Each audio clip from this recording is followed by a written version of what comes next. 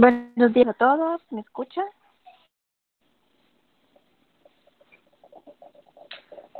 ¿Me lo Buen día, escucha. Buen día, ingeniera. Eh, bueno, es que tengo pésima señal de, de internet desde el- ayer. Eh, entonces, eh, pues yo no sé cómo me va a ir a lo largo del curso, de la clase.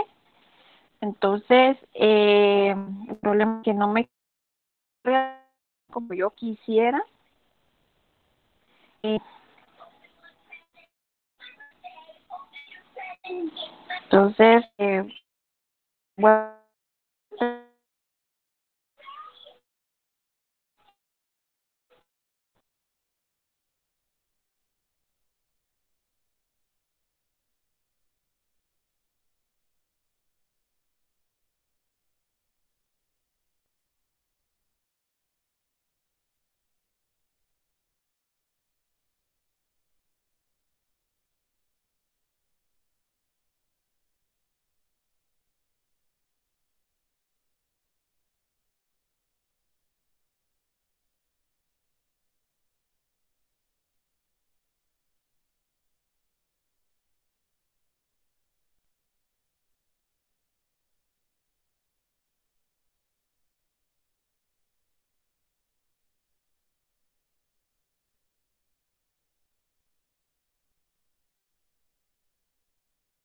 Bueno, si quiere pase el grupo que le seguía en exponer, eh, creo que era de cultivos tropicales. Mientras se carga mi presentación, por favor.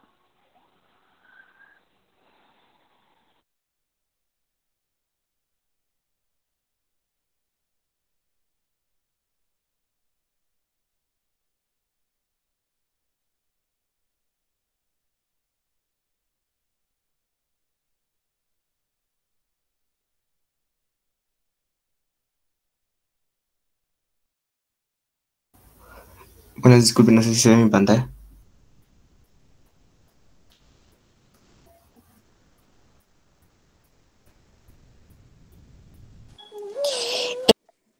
creo que es el antepenúltimo tema antes de culminar eh, el curso. Entonces, eh, sé un poco, sé un poco este tema debido a que parte de mi tesis de la U lo hice de este tema, de nematos. Entonces, conozco un poco sobre la, eh, un poquito profundo sobre los estudios eh, que se han hecho, cómo es que se comportan estos eh, animales. Y bueno, pues son realmente parásitos, algunos, algunos se consideran de vida libre, así se, así se les llama a aquellos que no ocasionan ningún daño en la planta podemos eh, resaltar que hay nematos que ocasionan enfermedades en, las, en el hombre y en los animales, no solo en las plantas. Entonces, eh, los nematos se pertenecen al reino animal del filo nemata o nematoda. Eh, son organismos microscópicos, tienen muchas células o están conformadas por más de una célula y son unisexuales. Eh, es decir, que podemos encontrar dentro de, de, los, de los nematos que existen una hembra y un macho. Y es por eso que, digamos, se fueron clasificando dentro del reino animal. Vamos a poder ver que es bien fácil diferenciar eh, un nematodo hembra versus un nematodo macho. Eh, tienen una apariencia de lombrices, ¿sí? Eh, habitan en muchos ambientes, en el suelo específicamente. Eh, muchos de ellos tienen un rol muy importante sobre la descomposición de la materia orgánica.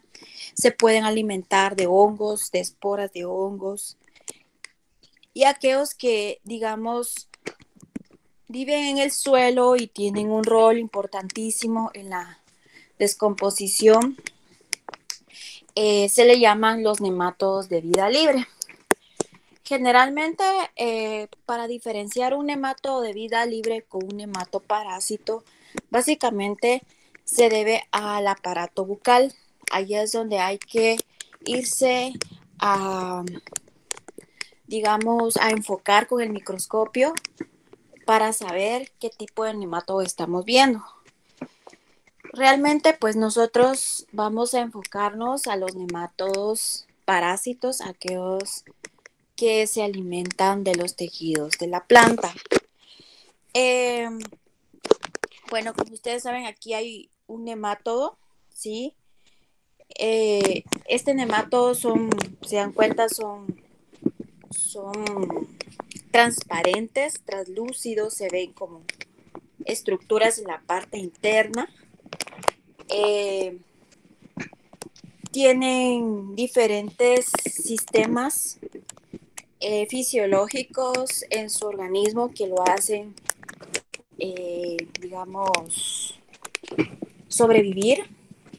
¿Eso qué quiere decir? Que tiene un aparato, un aparato digestivo, tiene un aparato excretor, eh, tiene un aparato nervioso o el sistema nervioso, sistema excretor, eh, reproductor, digestivo.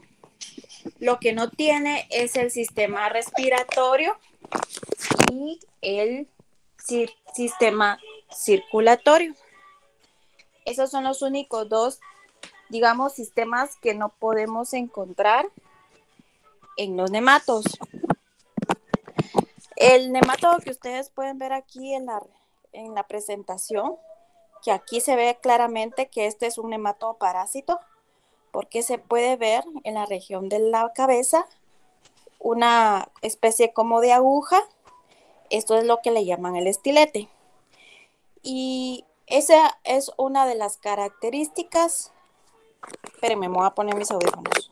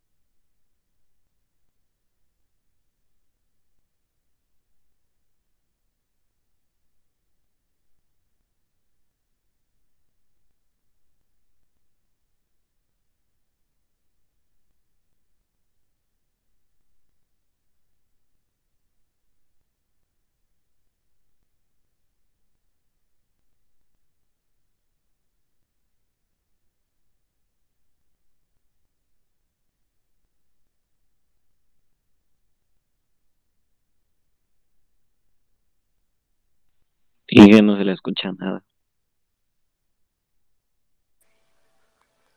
Perdón. Que les estaba diciendo que estos nematodos, el nematodo que usted ve aquí en la imagen, eh, tiene estilete, ¿sí? Es un nematodo parásito. Y eh, el estilete o la región de la cabeza y la cola, así como la forma general morfológica del cuerpo, es como se clasifica por su género. Eh, este nematodo que ustedes ven aquí se enrolla. No todos los nematodos tienen esa característica. Este es un género eh, especial que tiene esta como morfología en donde se enrolla eh, en el suelo o en una solución cuando la extraemos bajo laboratorio. Eh, les gusta vivir sobre ambientes húmedos, es algo muy importante. Si no hay humedad en el suelo, los nemátodos eh, tienden a bajar eh, en los perfiles del suelo, ¿sí? entonces, no es que se llegan a morir, sino que a veces tienen un estado de latencia o, invernan, ¿sí? Y también algo muy importante es que se puede localizar en todo tipo de ambiente ecológico. Entonces, si nosotros enviáramos una muestra de suelo para ver si tiene nemato alguno de sus terrenos, es casi seguro que sí tiene. Solo que, digamos, hay una considerable cantidad en donde pues se puede determinar si abundan más los nematodos parásitos o los nematodos de vida libre. Algunas características generales de, estos organismos es que, como ya les había dicho, tienen, eh, es como un gusano delgado, cilíndrico, que está alargado y que los diámetros se reducen en los extremos, es decir, en la región de la cabeza y en la región de la cola. Su cuerpo está cubierta por cutícula o por hipodermis, así se llama la estructura que envuelve el cuerpo de los nematodos y este le permite eh, protegerse de todos los ambientes o de los fluidos que suceden en, en el suelo o en el medio del suelo. Tiene simetría bilateral, eso quiere decir que si este nemato lo miramos de esta forma eh, y le damos la vuelta, tendría la misma característica. Eh, son ilianos. Ilianos quiere decir que son eh, transparentes. pseudocelomados es que quiere decir que tiene como una especie de fluidos en la parte interna de los mismos. Eh, como les había dicho, los nematodos se caracterizan por ser unisexuales, o sea, son eh, heterosexuales, ¿sí? Es decir, que necesitan de otro, eh, de otro nematodo, ya sea hembra o macho, para poderse reproducir. Entonces, por ejemplo, este, este, este género de nemato que ustedes ven acá, es el mismo. Este alargado que ven acá es, el macho y este que ven acá gordito o gordita es una hembra. Entonces, eh, algunos géneros de nematodos, la hembra se caracteriza por ser así en forma de pera, está gordita, arriñonada.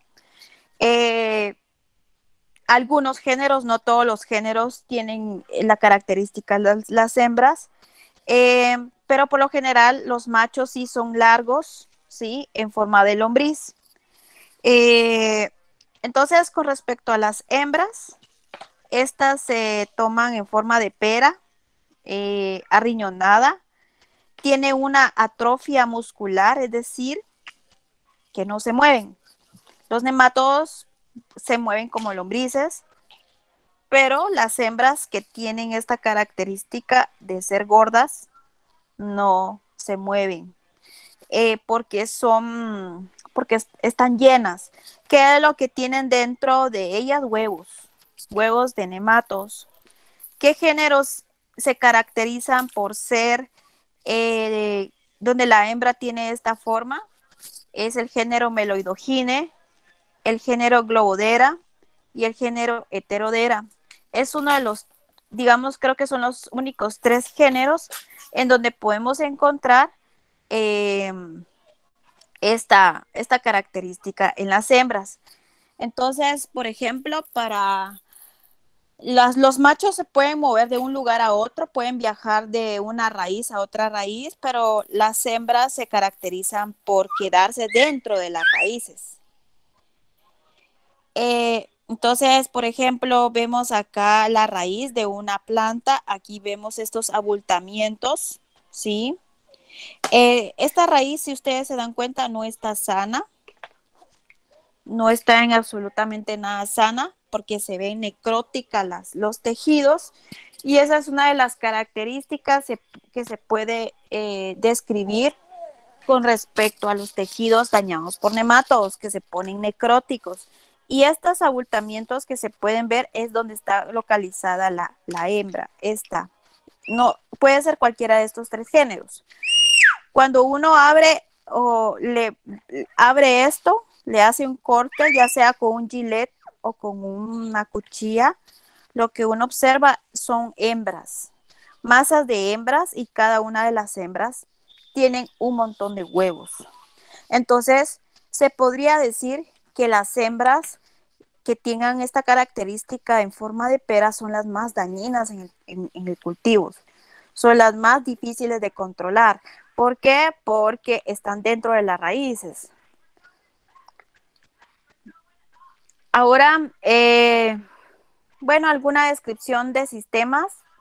Los nematodos se protegen por cutícula transparente, cutícula celular transparente semipermeable de proteínas, lípidos y carbohidratos. En el sistema digestivo está formado por un tubo que inicia en la abertura bucal y finaliza en el ano. O sea que ellos tienen un sistema digestivo completo, desde la boca hasta el ano. Eh, está conformado por un estilete.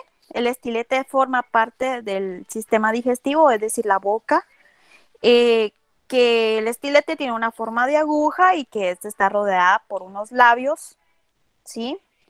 Eh, el estilete se caracteriza por ser un, un, órgano protáctil, así se llama así. ¿Eso qué quiere decir? Es un órgano que se extiende hacia afuera. Entra lo puede sacar y lo puede introducir. Y en su interior es hueca, es decir, que es como un tubo. Es un tubo que puede sacar y puede introducir eh, dentro de su boca. Algunos lo tienen de por sí afuera de la boca, porque a veces el estilete es muy largo. Y lo que hace esta, esta parte de, de la región de la boca es que penetra la raíz y extrae los nutrientes necesarios de la planta. Es decir, pueden ensancharse, robar los nutrientes acumulados de las células de las raíces. Que, que también hace el nemato al mismo tiempo puede inyectar secreciones denominada eh, saliva que contiene una enzima digestiva. Entonces a veces pues es casi lo mismo que los, un poco de lo que hacen los hongos, que modifican las células, que eh, sufren atrofia, e hiperplasia, entonces se, se engancha, se ensanchan los órganos, los tejidos y se deforman.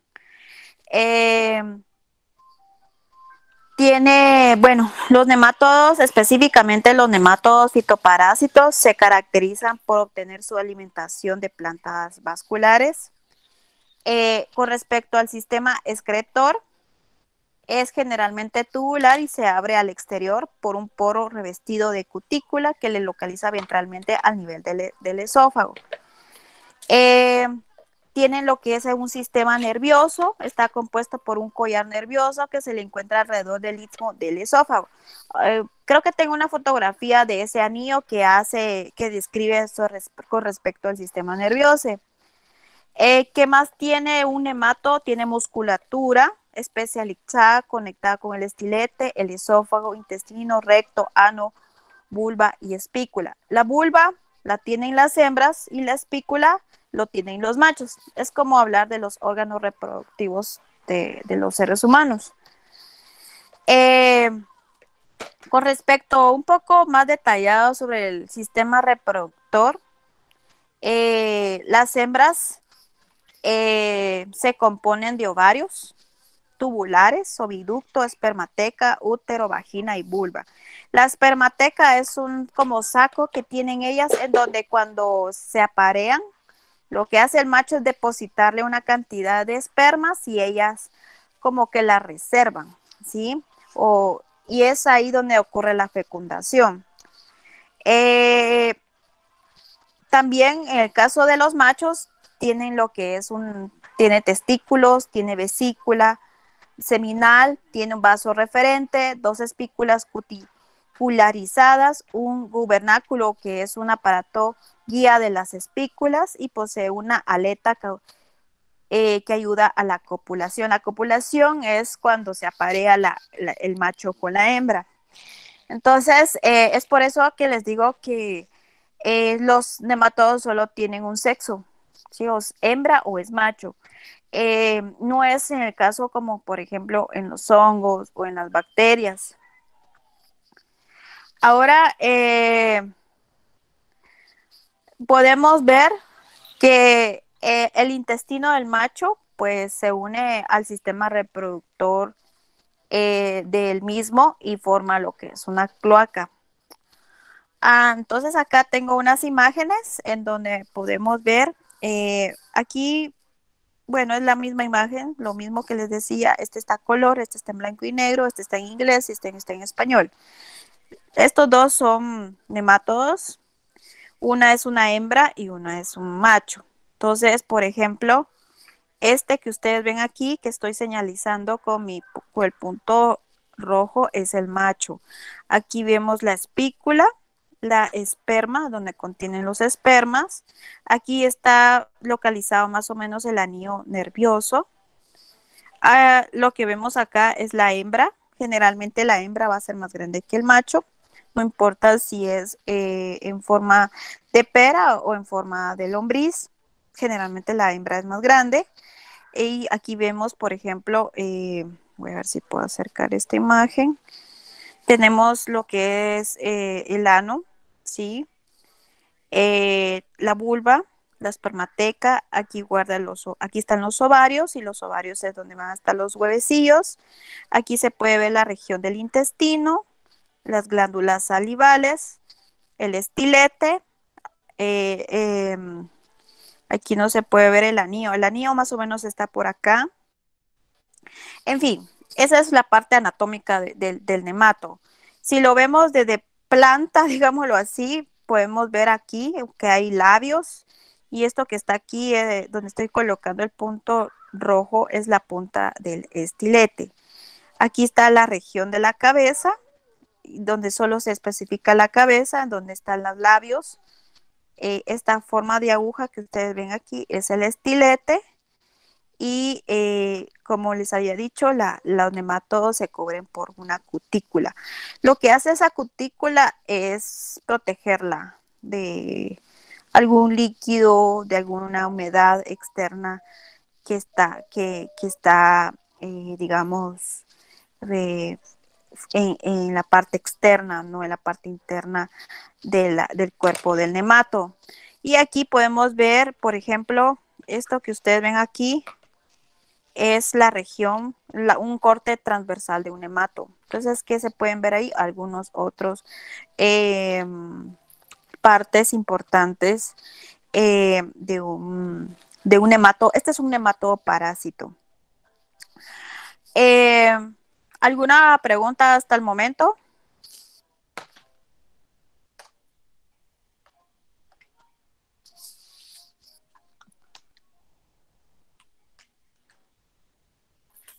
Preguntas jóvenes.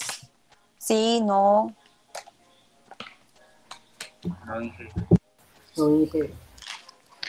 Bueno, entonces eh, veamos un poco lo, lo que es eh, el sistema reproductivo.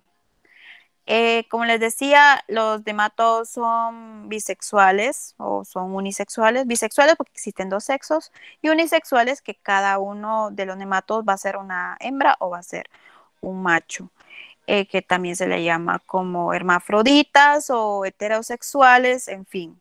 Entonces, en el caso de los machos, tienen lo que es una espícula. Esto es como ver el miembro del, de, del ser humano, ¿sí?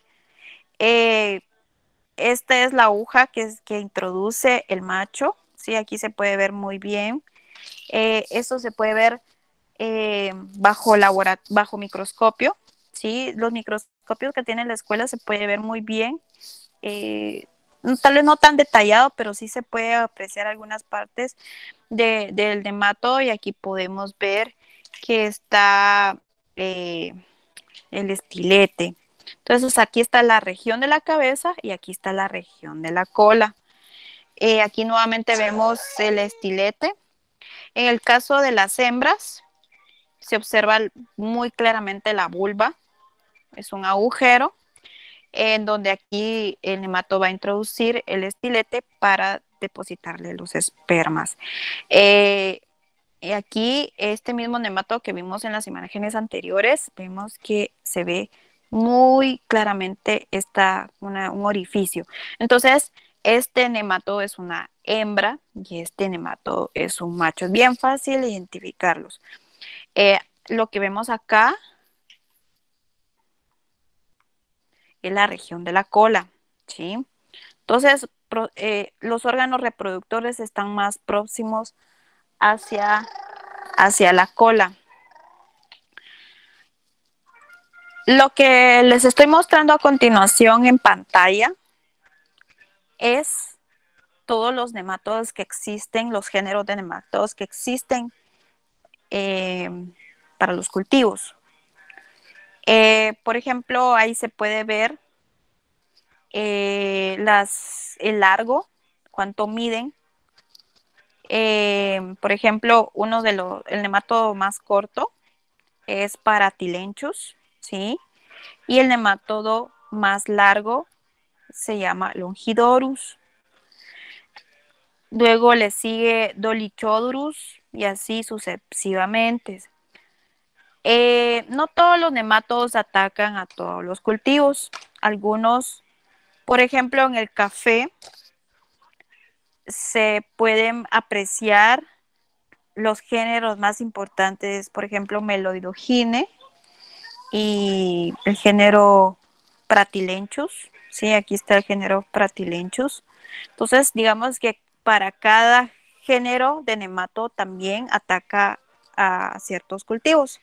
Y también no olvidemos que existen esta forma de nematos. Este nemato que ustedes ven aquí enrolladito, que lo hemos visto a lo largo de la presentación, es el género Helicotilencus. El Helicotilencus es el único género género de nemato que se caracteriza en enrollarse como una lombriz o como una rosquilla, mejor dicho. Luego tenemos, por ejemplo, los otros géneros de nematos que tienen en forma de pera, meloidogine y heterodera. Estos son, estos son hembras. Em, bueno, entonces aquí está alguna tabla de las medidas y vamos a hablar un poco del ciclo de vida de los nematos. Eh, ¿Qué entienden ustedes por el ciclo de vida? A ver, interactuemos un poquito porque yo ya me aburrí de estar hablando sola. ¿Qué entienden ustedes por el ciclo de vida?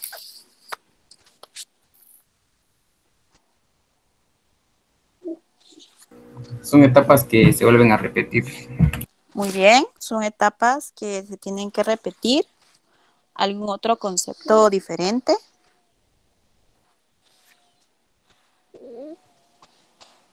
Etapas de desarrollo. Ajá, son las etapas de los desarrollos de los diferentes, eh, de los seres vivos. Eh, otro concepto un poquito diferente, o sea, todo lo que han dicho sus compañeros está bien que también es un ciclo de vida.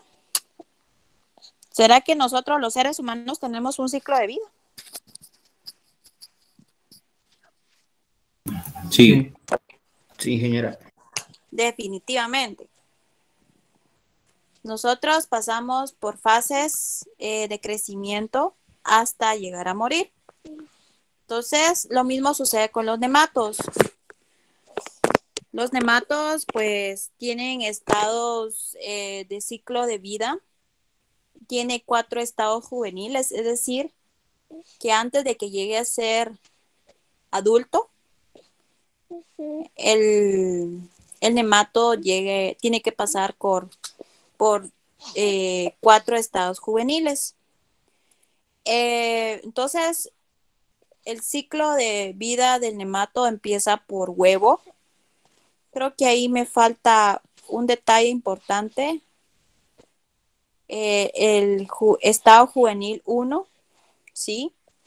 Luego está el estado juvenil 2, el estado juvenil 3, el estado juvenil 4, hasta llegar adulto.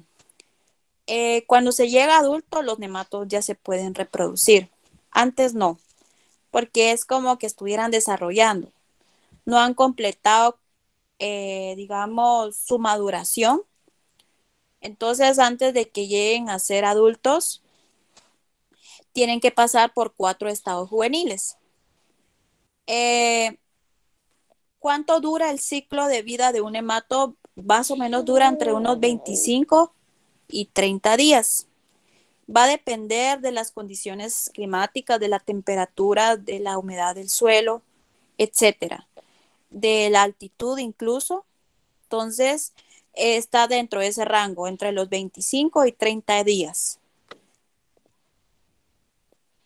Hablemos un poco sobre la ecología.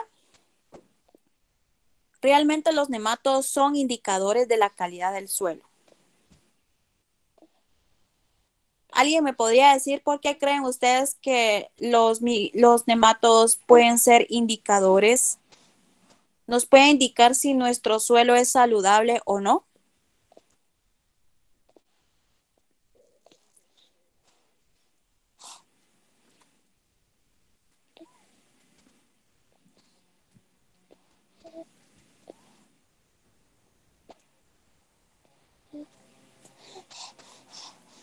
¿Alguien? ¿Alguna chica que quiera participar?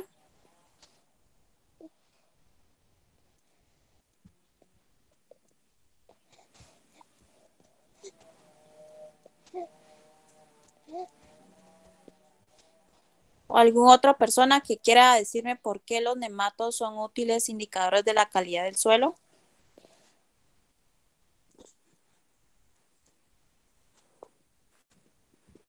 Jóvenes, ¿me están escuchando o no? Inge, podría ser que porque donde están ellos quiere decir que hay, buena cantidad de materia orgánica y otros eh, nutrientes que pueden aprovechar. Si quiere decir que el suelo es, es bueno y es apto. Ok, muy bien. Eh, digamos que si dentro de una, dentro de un suelo predominan los nematodos de vida libre, eso quiere decir que nuestro suelo está saludable. ¿Por qué? Porque los, nematodos de vida libre se encargan de la descomposición de materia orgánica. ¿Eso qué quiere decir? Que hay dinámica poblacional de los microorganismos, están presentes. Ahora si predominan más los nematodos parásitos, entonces nuestro suelo no es saludable, es un suelo probablemente con daño que nos va a provocar a nuestro cultivo. Es un suelo, bueno, eh, sí, que nos va a traer problema. Entonces, eh, realmente eh, para saber la salud de cómo está nuestro suelo, podemos utilizar a los nematodos como indicadores de cómo está nuestro suelo. los nematos tienden a cambiar por la humedad del suelo, por la temperatura y en el manejo del terreno. Por ejemplo, cuando no se riega, cuando no se aplica alguna humedad, los nematodos se quedan quietos, se invernan o tienden a bajar más a los perfiles del suelo porque les gusta la humedad. Si no hay humedad, los nematodos no se activan, no tienen vida. Eh, también tiene que ver mucho con la temperatura eh, y, con el manejo del terreno. Si se aplica desinfecciones eh, antes de sembrar algún cultivo, pues es obviamente de que la, la desinfección del suelo no es solo para bacterias ni para hongos, sino que también para nematos. Eh, entonces, los nematos con abundancia eh, nos indica realmente cómo está nuestro suelo, si está sano o si está enfermo. Ahora bien, eh,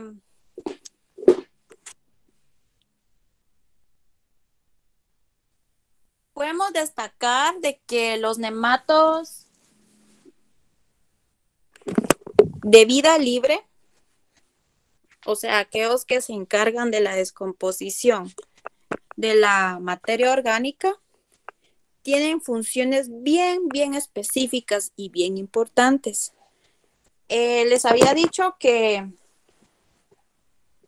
los nematos que, que, no tienen estilete se consideran como nematos de vida libre. Pero realmente los nematos, los nematos de vida libre eh, pueden controlar eh, los nematos parásitos. Entonces, en pocas palabras, los nematos de vida libre pueden controlar hongos, pueden controlar bacterias, pueden controlar nematos parásitos, por ejemplo. Eso quiere, ¿qué quiere decir? Que hasta cierto punto es como un control biológico, ¿sí? Y es por eso que es importante cuidar nuestros suelos, no aplicar cualquier químico que pueda alterar la, la microbiología del suelo porque estamos matando organismos que nos podrían ayudar a controlar eh, nuestro, los problemas parásitos del suelo. Em, entonces, eh, suelos sanos tienen cantidades elevadas de nematodos que se alimentan de bacterias, hongos y otros nematodos. Suelos con grandes suelos con grandes cantidades de, de nematodos parásitos se alimentan de las raíces de las plantas y no existe sanidad. Eh, manifestando enfermedad en la raíz en la parte aérea de la planta. Entonces, ¿cómo podemos empezar a ver si nuestro cultivo está siendo atacado por algún eh, nematodo parásito? Precisamente, pues se puede ver el daño en la raíz, pero la primera evidencia se va a ver en la parte aérea de la planta. Eh, algo también que, que, quiero resaltar es que, por ejemplo, esto que les puse aquí en la presentación, donde dice humedad del suelo, temperatura, textura, estructura, el contenido de materia orgánica, el pH y el SIC, interfieren eh, en el nemato. O sea, todo depende. Si esto está bien, el nematodo parásito eh, digamos, si estas características son apropiadas para un nematoparásito, entonces el nematoparásito se va a reproducir y va a empezar a, cocinar problemas. Entonces, eh, realmente el pH sí influye en la población de, los nematos, así como la capacidad de intercambio catiónico, es decir, la disponibilidad de nutrientes, eh, la textura y la estructura, la humedad y la temperatura de nuestro suelo. Eh, como sabemos, eh, los nematos parásitos, eh, la fuente primaria de alimentos son las raíces para los nematodos parásitos. los nematodos parásitos tienden a modificar el ambiente del suelo si predominan más los parásitos que los de vida libre.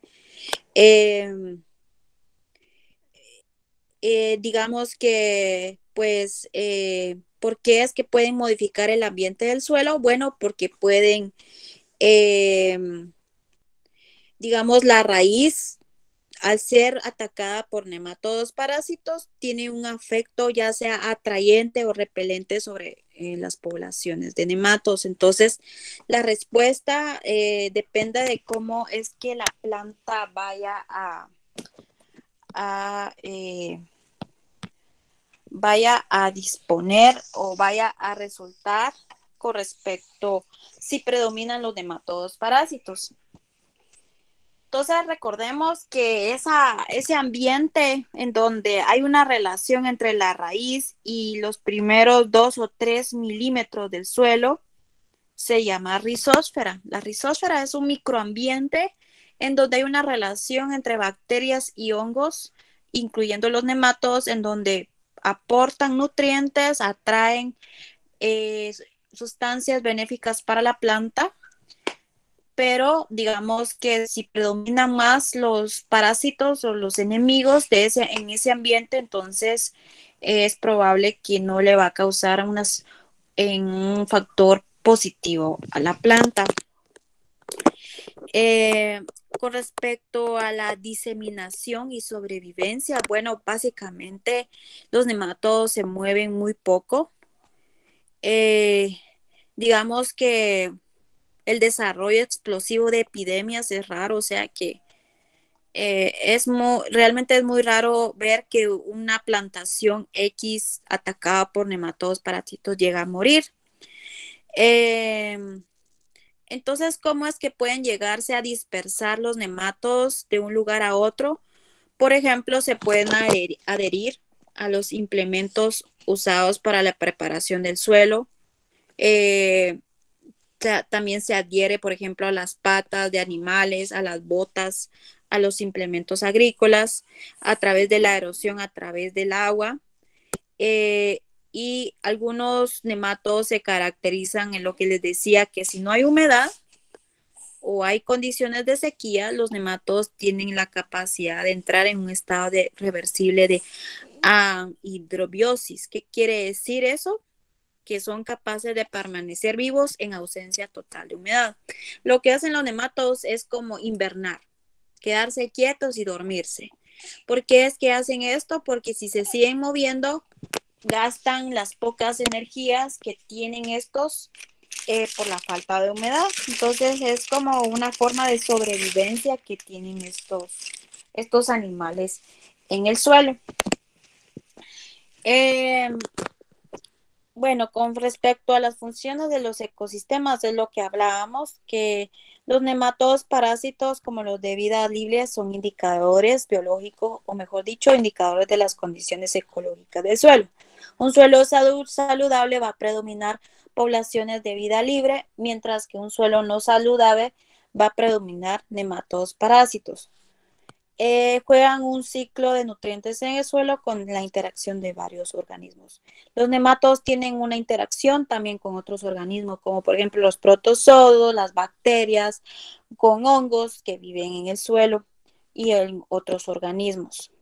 Entonces, eh, dentro de la clasificación de los nematodos podemos encontrar, eh, de acuerdo a su alimentación, por ejemplo, los nematodos parásitos, que son responsables de la pérdida de la gran medida en la agricultura. También están los nematodos bacteriófagos que se alimentan de, de todos los organismos que entran del reino procariota, en este caso podríamos decir las bacterias. También están los nematodos micófagos, que se alimentan de los hongos aprófitos o de hongos también incluso eh, parásitos. Tenemos también los nematodos depredadores, que son los que se alimentan de invertebrados. En este caso podemos hablar de, los protozoos y de otros nematodos eh, en, el, en el ambiente del suelo. Y está la otra clasificación de nematodos que tiene, que se alimenta de todos los niveles tróficos de la cadena alimenticia, es decir, que son omnívoros. Comen hongos, comen bacterias, comen otros hongos, comen otros invertebrados, es decir, se pueden alimentar de todo lo que les acabo yo de mencionar anteriormente. ¿Alguna pregunta hasta el momento?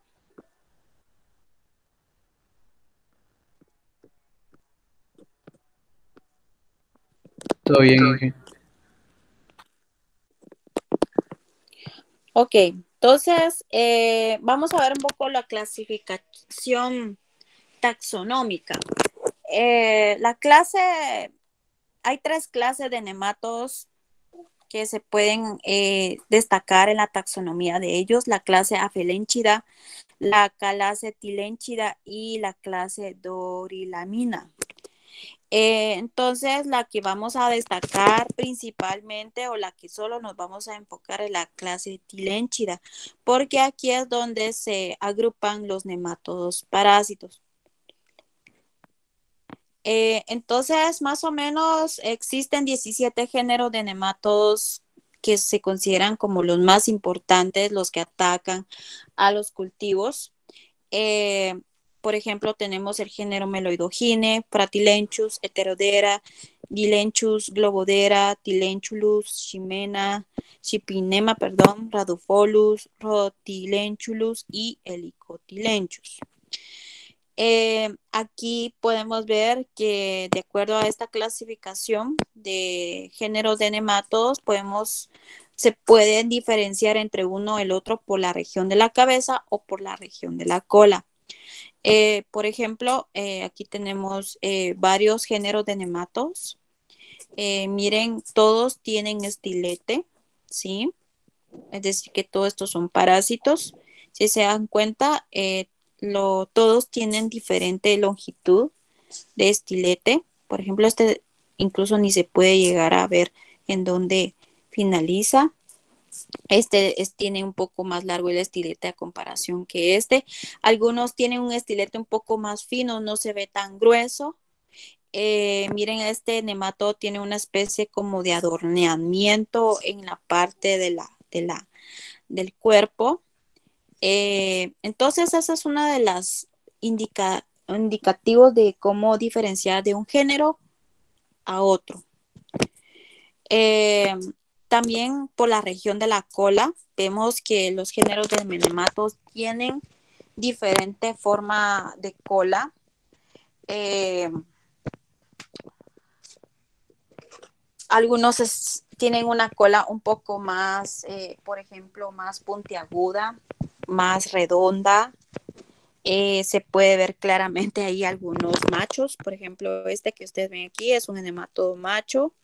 Este, eh, esta creo que es probablemente también un macho. Este es una hembra. Este no se puede visualizar bien, pero miren la región de la, de la, de, la cabeza y de la morfología del cuerpo del nemato. Se ve como una especie de, de como que está adornado. Eh, igual este, ¿sí? Entonces podemos tener que la región de la cola es algo curva, puede ser completamente puntiaguda o puede ser ligeramente curva o ligeramente puntiaguda. Eso va a depender de, los géneros. Entonces, la principal característica que uno puede distinguir de un género a otro es la región de la cabeza, el largo del estilete y la forma de la cola.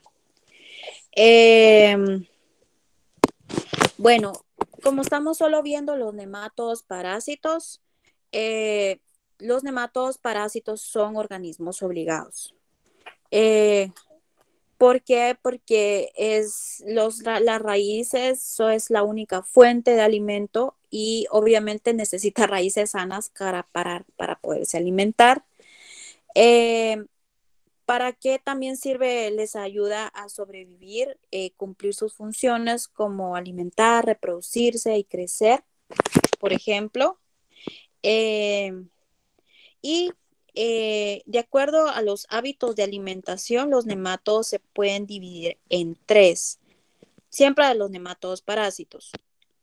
Los nematodos parásitos que se denominan ectoparásitos, los nematodos parásitos que se denominan semiendoparásitos y la última clasificación es la clasificación endoparásitos. Entonces, ¿qué quiere decir cada uno de estos? Por ejemplo, los, esta primera, los ectoparásitos son aquellos nematodos que se alimentan desde afuera introduciendo solamente una parte de su cuerpo. Es decir, lo único que introduce es el estilete.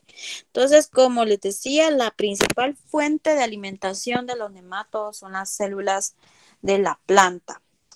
Em, y, por ejemplo, la característica de, estos, de estos eh, este grupo de, de, nematos es que solo introducen una parte, o sea, solo introducen la, el estilete. no introducen más allá de, de, del cuerpo o de la cabeza de, del nemato. Tenemos los semiendoparásitos, son aquellos que se alimentan introduciendo la mitad de su cuerpo dentro del, dentro de los tejidos de la raíz de la planta. Es decir, que ellos pueden llegar a meterse adentro de los tejidos de la, de la planta y pueden llegar hasta introducirse en la mitad al de lo largo del cuerpo. Eh, también tenemos los endoparásitos. Estos se alimentan donde son aquellos que se alimentan de las raíces, obtienen su alimento introduciendo toda la totalidad de su cuerpo. ¿Sí?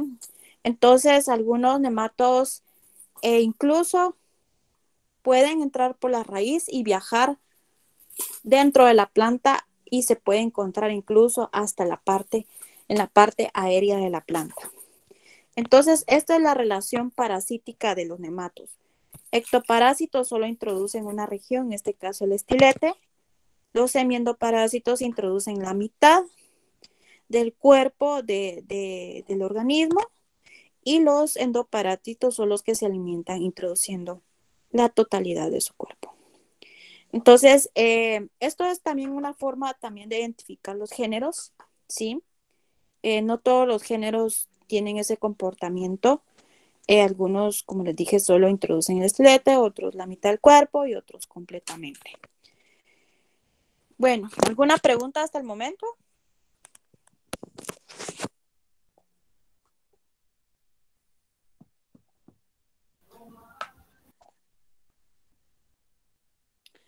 Bueno, hablemos un poco sobre la sintomatología eh, que puede presentar la planta. Em,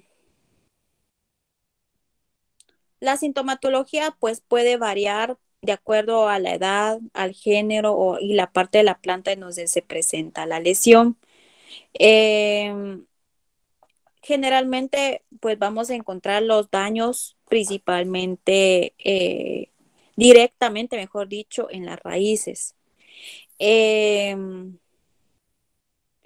entonces, por ejemplo, el daño se, puede incrementar cuando hay acceso a los tejidos vegetales que requieren los nematodos para reproducirse, para crecer, para movilizarse. Em, entonces, pero a veces ese daño no se ve porque como está abajo, debajo en el suelo, no se puede, nosotros no podemos ver en las raíces. Entonces se va a ver reflejado principalmente en la parte aérea de la planta. Entonces, ¿qué podemos ver en la parte aérea de la planta? Amarillez o clorosis en la hoja, aborto de los flores, enanismo, poco vigor, escaso desarrollo, muerte y bajos rendimientos. Eh, ese es alguno de los, de los, de la sintomatología. Incluso los nematodos se le consideran como parásitos ocultos porque, digamos, vemos, ven, ven que su planta está triste, no tiene los rendimientos, se pone amarilla. Entonces, eh, lo que menos piensa a veces los productores es en las raíces, que el daño puede estar el problema en las raíces o en el suelo.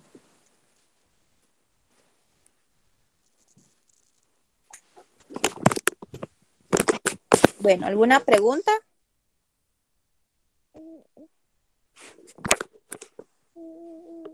Los, los, las plantas pueden ser dañadas en cualquier etapa fenológica, desde la, desde la resiembra o desde el trasplante del pilón. Ahí puede empezar el problema con nematos.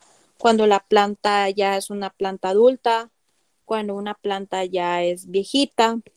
No importa, los nematodos eh, no tienen, no hacen acepción. Con que tengan la disponibilidad de alimento para, para adquirir y reproducirse suficiente.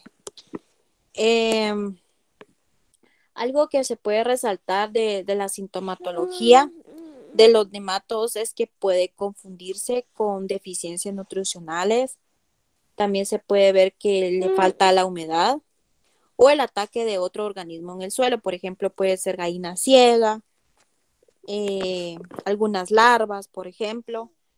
Eh, entonces, algunos daños eh, en las raíces permite uno identificar el género que se presenta el problema en, el suelo.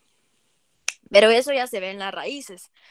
¿Por qué? Porque si vemos esas eh, chibolitas que vimos en, la fotografía anterior, eh, vemos que hay una hembra que está dentro de los tejidos de la raíz. Entonces, ya ustedes conocen cuáles son los tres géneros que se caracterizan en donde la hembra tiene esa morfología.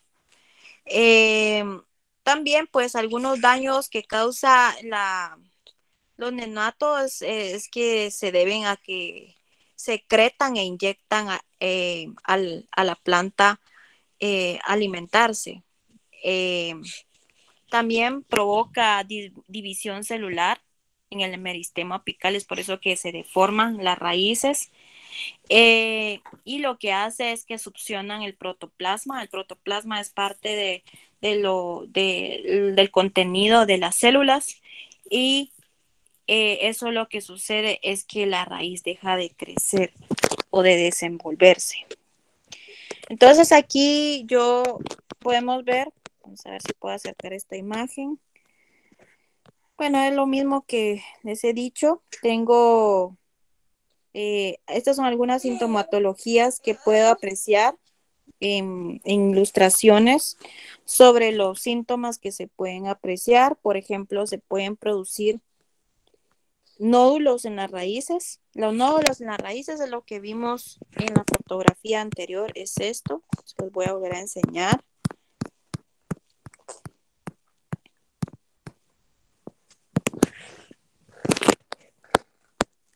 es esto, estos son los nódulos. Entonces, dentro de esos nódulos está la hembra.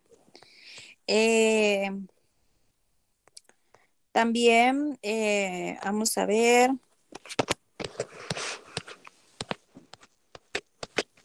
Están los nódulos en las raíces. Eh, también está, se forman algunos quistes. También es como una, una abultamientos en las raíces se forman lesiones, ¿sí? Eh, se ponen necróticos los tejidos de las, de las, de las raíces, eh, se deforman también los órganos subterráneos, por ejemplo, en cebolla, en papa. Eh, se puede ver también algunas formaciones de agallas, alguna presencia o un coloramiento distinto en la hoja. Eh, se, reduce el crecimiento de la raíz, ¿sí? Como vemos que las raíces sanas, una planta sana tiene mucha raíz, mucho volumen de raíz. Entonces, eh, a veces, eh, pues, esto se disminuye. También vemos acá, dice el nemato barrenador del plátano, ¿ok? Ese nemátodo es bien importante, ese género Rhadophilus es un género de nemátodo muy importante en plátano porque eh, tiene una convivencia con un, con un coleóptero, como una especie de escarabajo. Entonces, eh, el que hace más desastres, pues es, eh, es el coleóptero. Entonces, el coleóptero puede introducirse dentro del plátano que deja a causa de los orificios o de las perforaciones que hace el nemato. Eh, también se puede ver deformaciones en las raíces, en fin, se puede ver mucha sintomatología eh, en, la, en, la, en diferentes plantas. Y obviamente este reflejo se va a ver en la parte aérea, que se puede ver amareamiento, como les dije, eh, aborto, porque no hay translocación de nutrientes del suelo a la parte aérea. Eh, aquí vemos algunas fotografías, eh, ven este, esta parte, ven esa deformaciones, necrosis, muerte. También se ve aquí que hay poco desarrollo radicular. Miren aquí, si se puede ver acá, se ve necrótico. Aquí todavía se ve un poco sano, pero aquí ya se ve necrosis. Eh, como café, eso nos mancha por suelo. Se puede ver también apreciado esta deformación en raíces como nódulos, ¿sí? Eh, y esto se puede ver en la parte aérea, ya sea, por ejemplo, en café.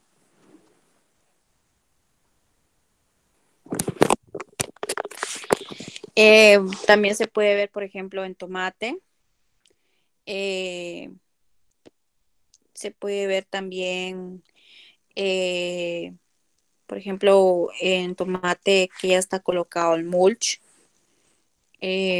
se puede descarbar un poco y ver cómo están las raíces. Si se presenta alguna eh, un problema en la parte aérea de la planta. Bueno, ¿alguna pregunta hasta acá?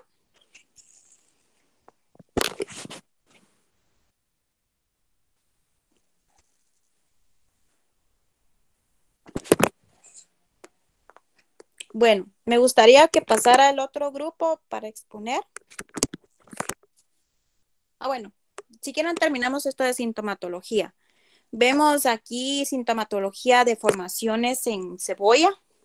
Ahí está el género y la especie de, de, nemato que ataca cebolla. Y eh, pues en resumen, eh, podemos decir que los dematos pueden causar debilitamiento de las plantas, lesiones en las raíces. También pueden complicarse con la aparición de infecciones fungosas y bacterianas, como ya hemos hablado, que algunos hongos atacan por, por la presencia de, de, nematodos. Eh, también tiene una apariencia de deficiencia de nutrientes. Si ustedes están fertilizando bien, aplicando macro micronutrientes, pero ven que la planta tiene el mismo comportamiento, entonces hay que ver, eh, hay que tomar en cuenta este tipo de organismos. Se forman lo que son los nódulos de las raíces y se ve marchitez en general en la parte aérea de la planta.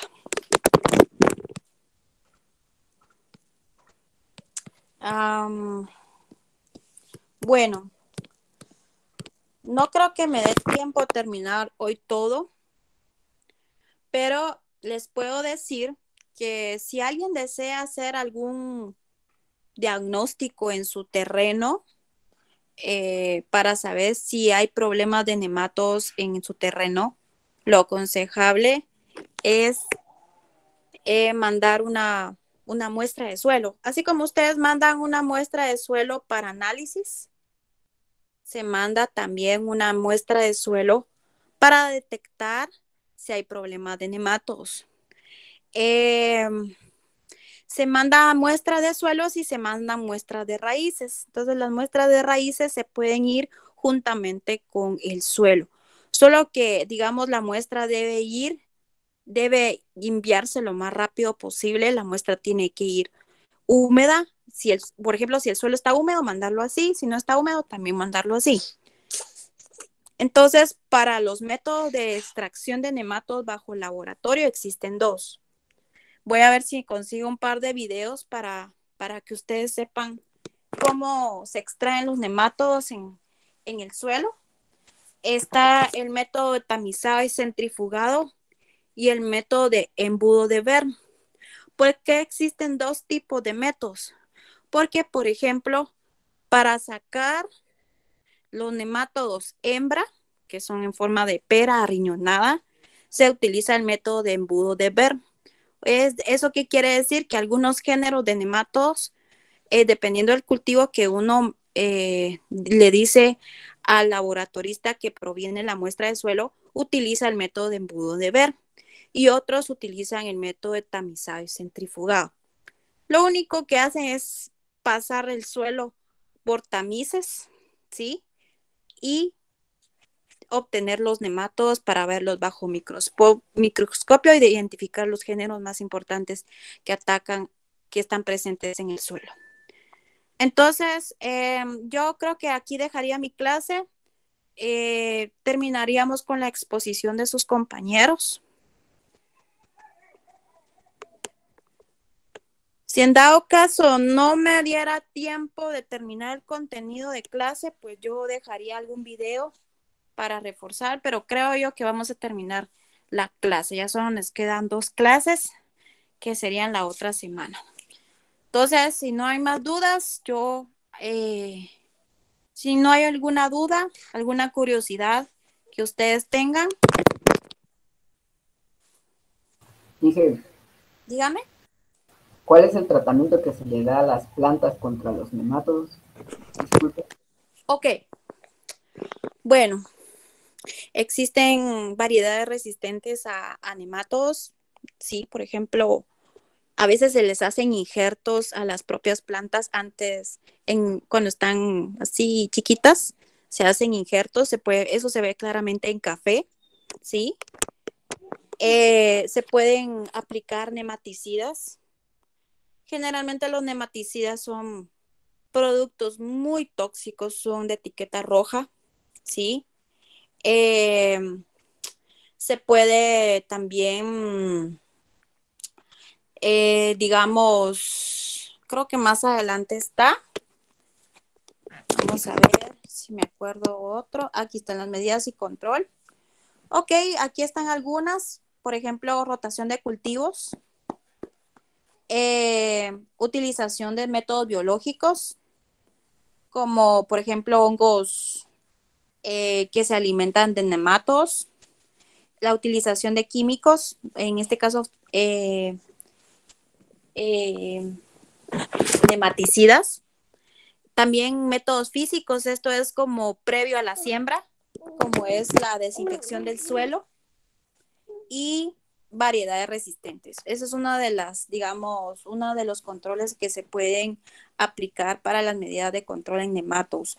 La verdad es que, como les digo, es muy, es muy raro encontrar una, así una invasión muy fuerte, pero eh, digamos, esas son algunas eh, medidas que se pueden controlar o no se puede erradicar el nemato por supuesto que no se puede, porque hay nematodos muy listos en donde no les llega el producto o no les llega la desinfección.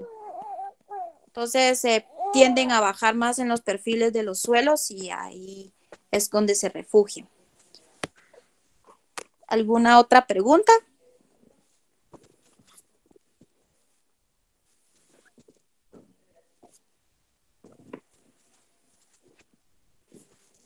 Bueno, si no hay más preguntas, quiero escuchar al último grupo y ahí terminaría mi clase.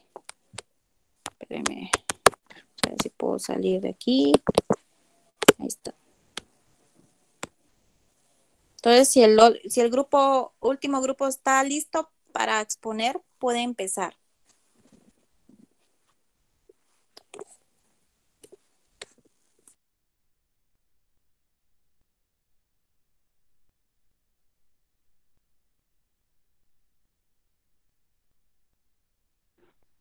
Buenos días, Inge. Eh, eh, nos correspondió exponer sobre los virus.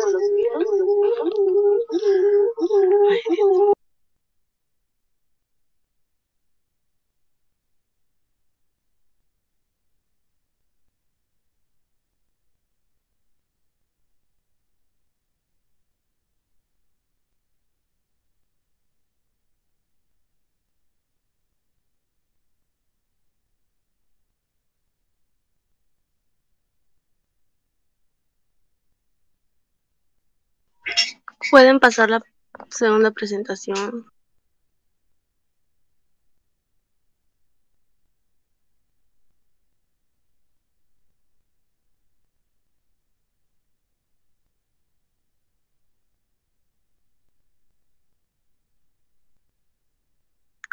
Bueno, aquí nos dice el desarrollo de la fresa, eh, sus síntomas eh, que producen en las plantas son muy variadas decoloraciones, eh, moteados, muchas manchas, manchas foliares, eh, follajes, diferencia de colores, tamaño en flores, frutos. Algunas veces se presentan sin mostrar síntomas, pero sí baja la calidad del rendimiento. El patógeno que afecta es el paradiosis de la fresa, Stanberry, fallidosis.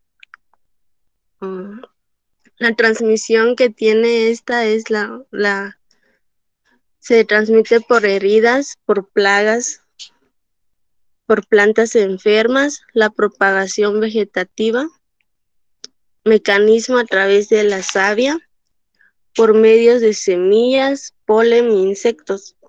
Como podemos darnos cuenta aquí, se, se mira que la planta en las hojas se, definitivamente se muere. Y eh, el causante de esto es el virus de la fresa, como habíamos dicho, que era a la dosis de la fresa. Mm, Pueden pasar la siguiente diapositiva.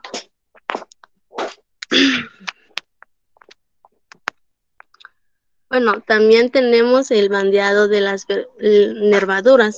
Mm, Las síntomas que tiene estas son mm, apariencias con manchas foliares en las hojas que son de color amarillo. Generalmente se propagan rápidamente. Podemos observar aquí en las hojas que ya eh, este es un fruto de manzana y ya prácticamente está bien desarrollado el virus, que el patógeno se llama virus de las manchas cloróticas del manzano y la transmisión es por heridas, plagas como también plantas enfermas, propagaciones vegetativas, mecanismo a través de la savia, por medio de semillas y también eh, si hay alguna planta enferma se propagan fácilmente. Y podemos pasar a la siguiente diapositiva.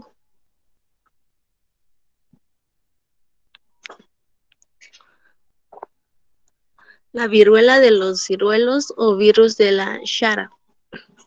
Esto se presenta en las ciruelas y sus síntomas. eh, estos son los signos que aparecen en el fruto ya que tienen formas deterioradas. Prácticamente se observan enanismo en los frutos. Enanismo o desarrollan frutos deformes. Y el patógeno que causa esto es la ciruela Prunus sp, virus del Shara así se llama, y la transmisión que por la cual se da son plantas infectadas, eh, plagas y deficiencias, semillas infectadas. Y esta, en esta imagen podemos observar que la planta está deforme y es eh, síntomas del Shara. Entonces sería esto los plantas que afectan. Y le dijo el tiempo a mi siguiente compañero.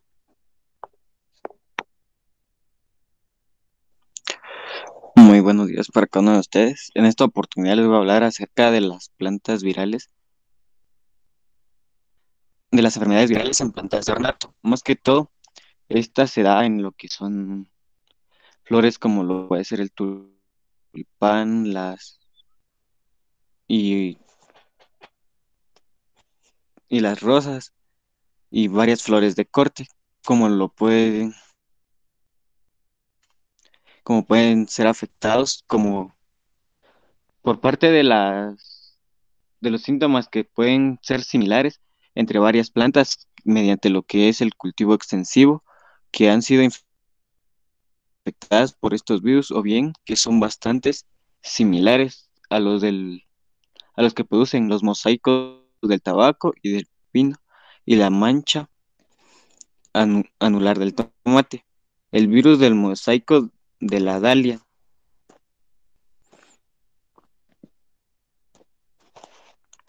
Este, los síntomas que presenta este virus en una planta es de que mm, el virus desarrolla bandas cloróticas a lo largo de, las de los nervios centrales y principales de las hojas, seguido del mosaico en, en cultivos híbridos de dalia. Los tallos de las flores son cortados con un número reducido de flores y flores muy pequeñas, manchas negras necróticas en la hoja o a menudo cerca de la vena media. Presentan un crecimiento atrofiado de toda la planta, presentan un desarrollo deficiente de la raíz del, tubérculo. El control. Para poder prevenir la propagación del virus es mejor eliminar las dalias con el virus del mosaico. Otro tipo de control que nosotros acá podemos tener es la desinfección de las herramientas y todo el material que nosotros utilicemos para trabajar con, nuestras plantas dentro del invernadero, ya que estas así se, así se cultivan. Pero este control sería más que todo un control preventivo para que no podamos presentar lo que es el virus del mosaico de la dalia. Los tipos de huéspedes y epidemiología. El tipo de huésped es limitado, pues solo infecta a la dalia de forma natural y se transmite por áfidos de manera no muy persistentes. Entonces, acá podemos saber de que prácticamente son los, son los áfidos que transmiten este virus, pero no tanto. Son ellos los que inciden en esto, sino que nosotros también incidimos de cierta manera cuando no desinfectamos lo que son las herramientas al momento de trabajar. Y puede que nosotros hayamos visitado alguna otra plantación y este virus también nosotros lo transportemos debido a que podemos comprar alguna planta en, en otro en otro invernadero y llevarla al nuestro. Por eso también es necesario realizar las cuarentenas de, de vegetación para controlar que este virus no pueda llegar a nuestra plantación.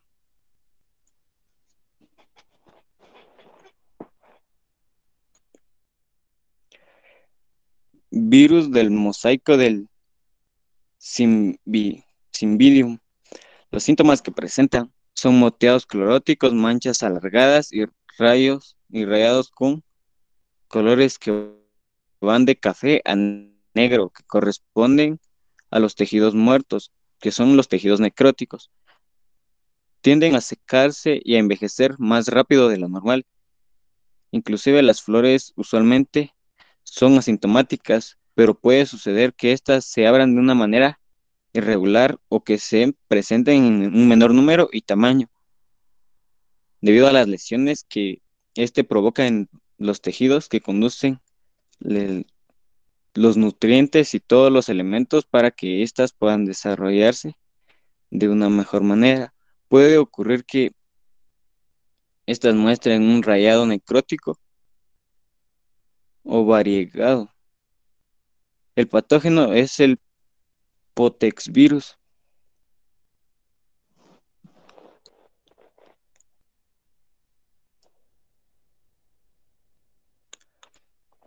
Acá en, en esto podemos ver los síntomas y el origen de lo del Potex virus.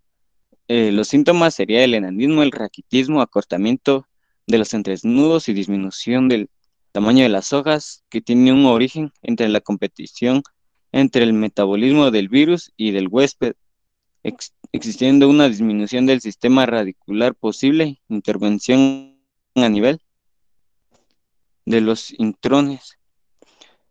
El mosaico, clareado de nerviaciones o de la zona intervinal, abigarrado, se origina por medio de la acción del virus a nivel de los cloroplastos con la localización del efecto en ciertas zonas de la hoja, el amarillamiento general, enrollado y endurecimiento del limbo del marchitamiento. Acá los virus se multiplican en en el liver y perturban sus, funciones conductoras.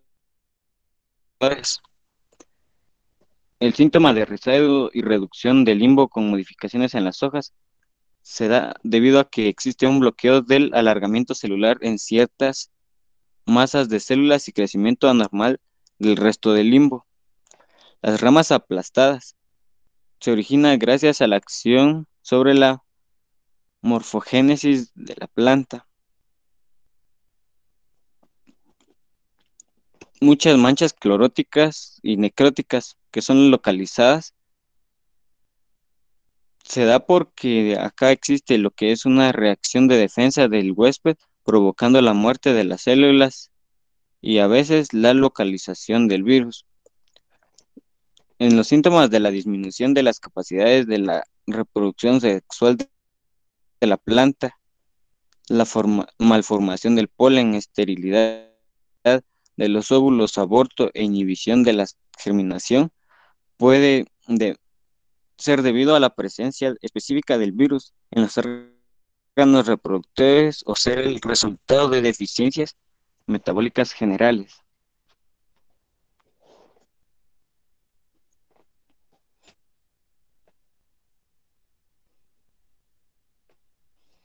Virus del mosaico del abutilo. Los síntomas se manifiestan en el follaje por manchas de color verde claro o amarillo en amplios, en amplios histoles de, del contorno anguloso distribuidos por toda la superficie del limbo de la hoja, debido a que existe o presenta un aspecto decorativo que ha sido explotado en la multiplicación vegetativa de cultivares infectados. El agente causal es ABMV que contiene un ADN de cadena sencilla circular. El tipo de huésped y epidemiología. Este virus puede infectar varias especies de la familia malvácea, como es el abuitlón, malva, entre otras. Se transmite por aleuprodidos que infectan a plantas dicotiledóneas y no se transmiten por semilla.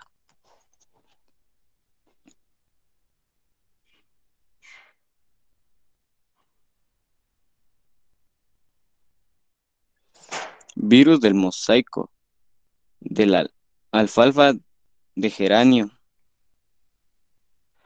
Acá los síntomas principales que presenta la planta Acá prácticamente lo que, lo que nos muestra en esta imagen que podemos ver acá es que existe una clorosis, también existe una necrosis y los, los principales causantes que tiene el virus del mosaico del alfalfa es el AMB. Tiene, una, tiene un genoma tripartido dividido en tres partículas basiliformes de diferentes tamaños con inclusiones citoplásticas granulares con tres ARN de cadena simple con una polaridad positiva. El control. El control de AMV se realiza a partir del control de las malas hierbas y del control de sus áfidos vectores durante la producción de semilla y durante la producción de la planta ornamental. Los áfidos que atacan a estos a estos cultivos como lo es la alfalfa y el geranio, este son la, la mosquita blanca. Entonces tenemos que controlar a esta para evitar que este virus pueda propagarse si es que existe dentro de nuestra plantación. El tipo de huésped y epidemiología. El calanché, la malva y el altamur, varios arbustos de flor como Cercis siliquastrum y Cariopteris.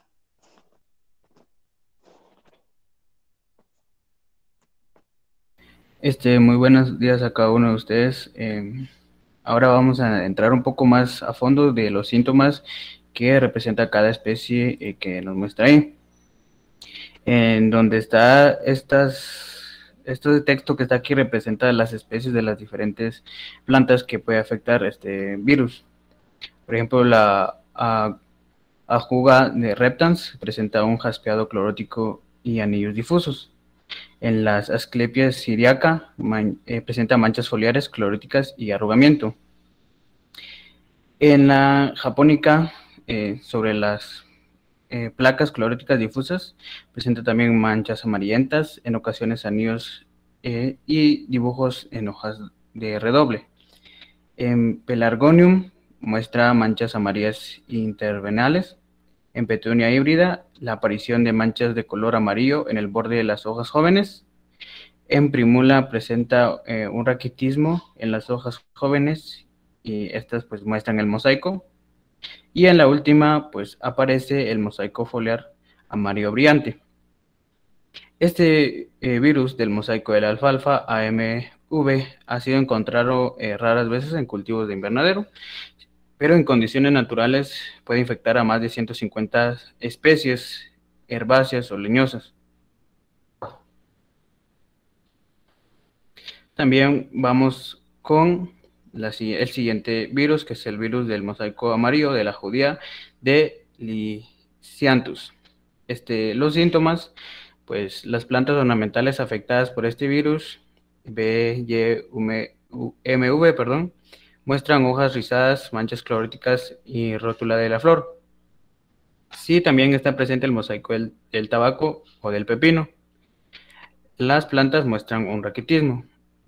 En las especies de Crocus flavus muestra un mosaico foliar y en Ischia híbridos presenta un ligero mosaico foliar y un variegado floral.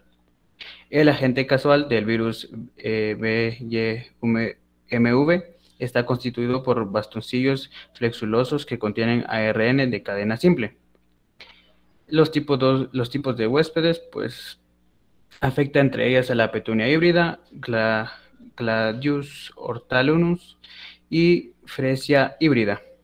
Se conocen más de 20 especies de pulgones que son transmisores, transmisores de este virus y el control pues es casi el mismo que las anteriores simplemente mantener la eliminación de, cualquier este vector y tener desinfectado pues el área.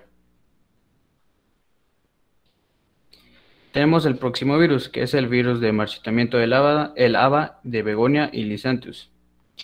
Es el virus BBWV. Este es un marchitamiento del haba y se ha observado en algunas especies ornamentales de flores, pero se trata de un virus muy destructivo.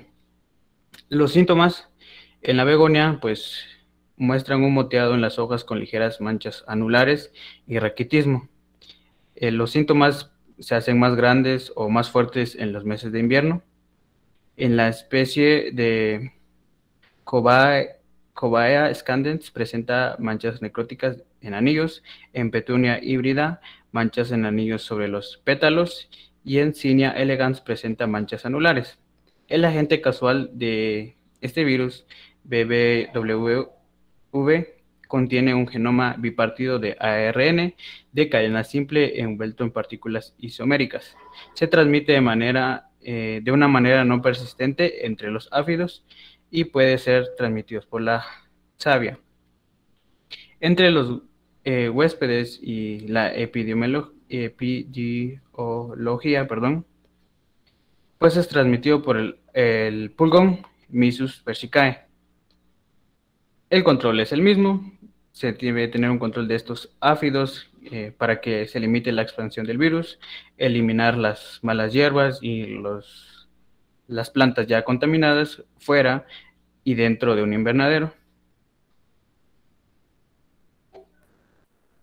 Pues esto ha sido todo. Gracias y si alguno tiene una pregunta es el momento.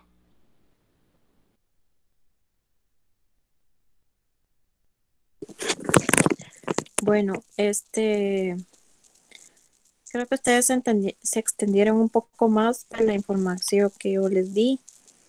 Em,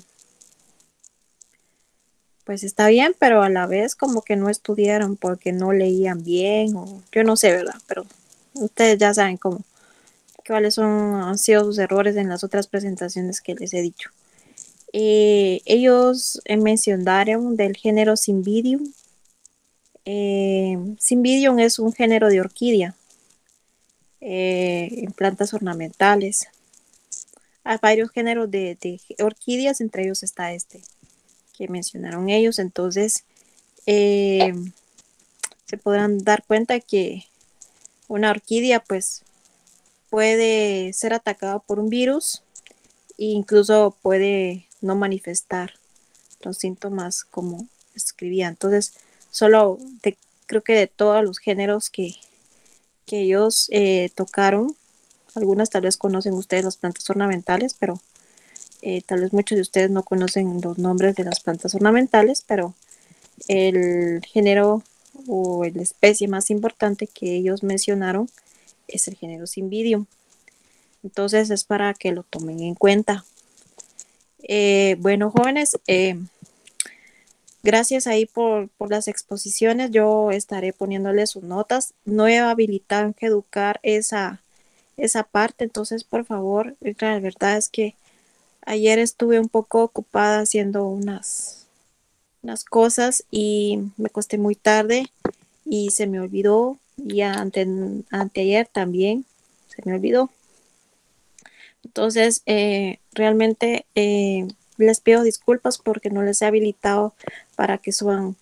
Eh, bueno, no sé si ya se los habilité o no, no me acuerdo.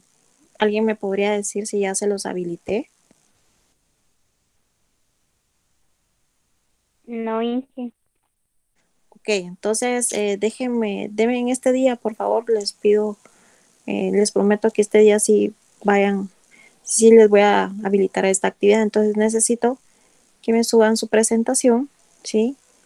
Y yo voy a estar calificando. Eh, en la otra semana vamos a tener un examen corto de todo lo que veamos. Eh, considero que va a ser el jueves como para cerrar el curso y espero finalizar el contenido que tengo yo eh, planificado terminar. Entonces, eh, si no hay más dudas, pues les deseo una feliz, una feliz tarde. Gracias, Inge. Feliz tarde, Inge. Feliz tarde. Feliz tarde.